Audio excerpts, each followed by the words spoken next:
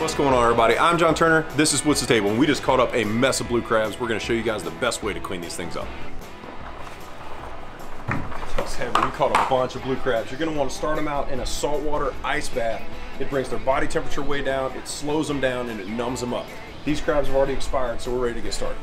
Grab your crab. Take your thumb where this swimmer fin meets the carapace of the shell right here, where you can hold them steady. Grab the carapace in your hand, pop that loose. You're gonna wanna clear all the gills and everything out of there. Clear the mandibles off the front.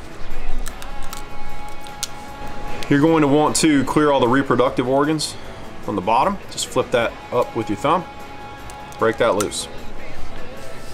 And clear all every all these kind of innards and everything out of there with your thumb. And then we're just gonna spray this out with a hose. There we go. Clean as a pin, ready to cook. That's it. It's seriously that easy. I hope you guys get out there and try this. We'll see you guys next time and God bless.